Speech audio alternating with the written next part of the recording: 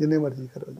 ਉਹ ਬੜੇ ਅੱਜ ਕੱਲ ਤੂਮਤਾਂ ਨੇ ਬੜਾ ਕੁਛ ਹੈ। ਚਲੋ ਆਪਾਂ ਉਹਨਾਂ ਚੀਜ਼ਾਂ 'ਚ ਨਹੀਂ ਪੈਣਾ ਬਟ ਤੁਸੀਂ ਕਹਿੰਦੇ ਹੋ ਸਾਈਂ ਜੀ ਤੋਂ ਬਹੁਤ ਕੁਝ ਮਿਲਿਆ ਲਾਡੀ ਸਾਈਂ ਜੀ ਤੋਂ ਬਾਬਾ ਮੁਰਾਦ ਸ਼ਾਹੀ ਤੋਂ ਉਹਨਾਂ ਦੇ ਡੇਰੇ ਤੋਂ।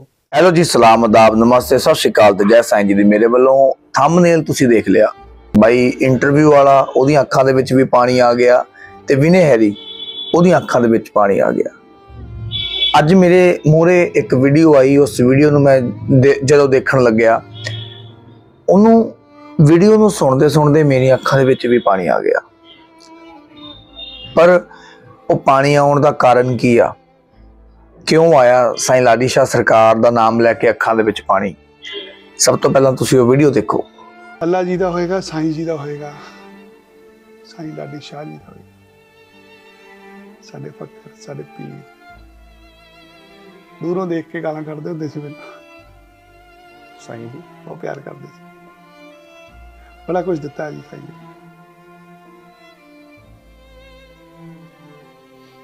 ਦੱਸੋ ਕੀ ਕੀ ਦਿੱਤਾ ਫਿਰ ਉਹਨਾਂ ਦੀ ਸਾਂਝਾ ਕਰੋ ਕੋਈ ਕਿੱਸਾ ਉਹਨਾਂ ਦੀ ਦੇਣੀ ਹੈ ਜੀ ਜਦੋਂ ਮਿਲੇ ਕਦੇ ਸਾਈਂ ਜੀ? ਹਾਂਜੀ ਲਾਏ ਉਹਨਾਂ ਨੇ 4-5 ਸਾਲ ਮੈਂ ਗਿਆ ਜੀ ਭਲੇ ਵੇਲੇ ਚਲਾ ਗਿਆ 2000 2000 ਚ ਚਲਾ ਗਿਆ। ਅੱਛਾ ਬੱਸ ਚ ਜਾਂਦਾ ਹੁੰਦਾ ਸੀ ਉਦੋਂ ਤੁਹਾਡੇ ਕੋਲ ਕੀ ਕੁਛ ਸੀਗਾ ਜੀ ਨਹੀਂ ਕੁਝ ਵੀ ਨਹੀਂ ਮੇਰੇ ਕੋਲ ਸਾਈਂ ਜੀ ਸੀਗੇ ਜੀ। ਮਤਲਬ ਉਹ ਸਟਰਗਲਿੰਗ ਟਾਈਮ ਸੀ ਨਾ ਨਾ ਕੁਝ ਵੀ ਨਹੀਂ ਸੀਗਾ ਸਾਈਂ ਜੀ ਦਾ ਨਾਂ ਜਪੀ ਗਿਆ ਜੀ, ਸਾਈਂ ਜੀ ਕੋ ਜਾਈਦਾ ਸੀ ਸਮਝ ਨਹੀਂ ਸੀ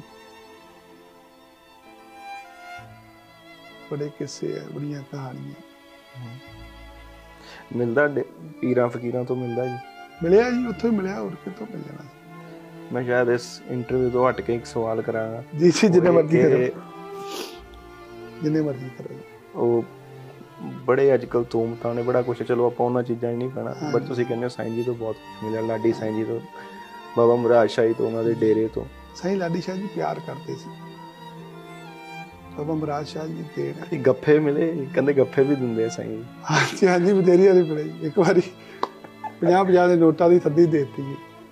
ਅੱਛਾ।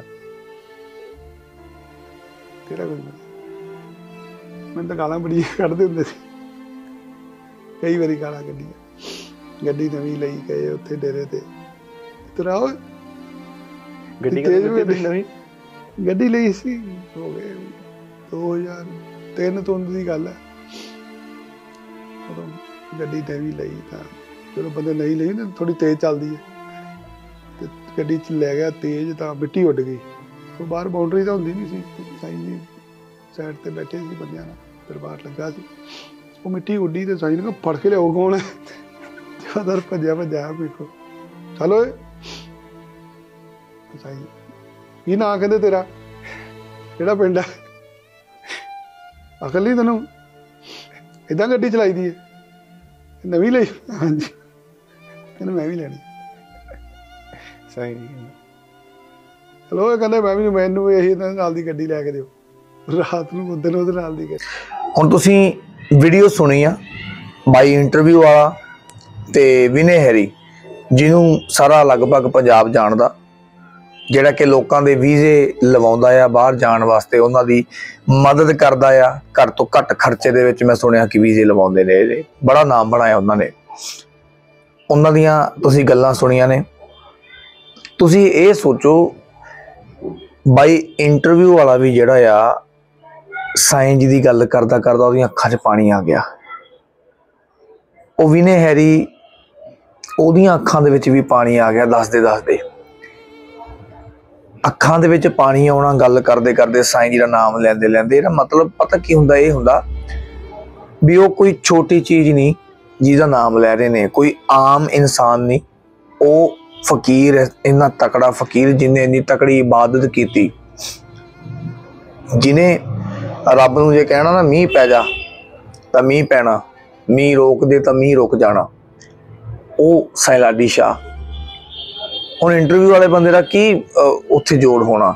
ਪਰ ਬਾਈ ਨੇ ਦੇਖ ਲਾ, ਗੱਲ ਕੀਤੀ ਆ ਤੇ ਉਹਦੀਆਂ ਅੱਖਾਂ 'ਚ ਵੀ ਪਾਣੀ ਆ ਗਿਆ, ਉਹ ਅੱਖਾਂ ਪਹੁੰਚ ਵੀ ਰਿਹਾ ਹੈ ਆਪਣੀਆਂ ਤੇ ਬਾਈ ਵੀ ਨੇ ਹੈਰੀ ਵੀ। ਜਿਹੜਾ ਕਹਿੰਦਾ ਮੇਰੇ ਕੋਲ ਕੁਝ ਵੀ ਨਹੀਂ ਸੀ ਤੇ ਸਭ ਕੁਝ ਸਾਈਂ ਜੀ ਦਾ ਦਿੱਤਾ ਆ। ਮਤਲਬ ਕਿ ਜਿਹੜਾ ਲੋਕਾਂ ਦੇ ਵੀਜ਼ੇ ਲਵਾਉਂਦਾ, ਇਹ ਇਹ ਕਹਿ ਸਕਦੇ ਹਾਂ ਕਿ ਉਹਨੂੰ ਸਭ ਕੁਝ ਦਿੱਤਾ ਲਾਡੀ ਸ਼ਾਹ ਨੇ।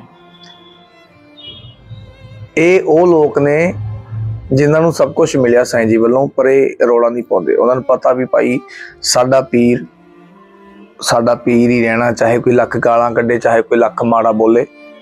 ਅਸੀਂ ਜੁੜੇ ਆ ਸਾਨੂੰ ਉੱਥੋਂ ਮਿਲਿਆ ਆ, ਤਾਂ ਅਸੀਂ ਲੱਗੇ ਹੋਏ ਆ ਮਾਨ ਸਾਹਿਬ ਮੰਗੂ ਸਾਡੀ ਜਿੱਥੇ ਲੱਗੀ ਆ, ਤੂੰ ਲੱਗੀ ਰਹਿਣ ਦੇ। ਲੋਕੀ ਕਹਿੰਦੇ, ਠੱਗੀ ਆ ਤਾਂ ਠੱਗੀ ਰਹਿਣ ਦੇ।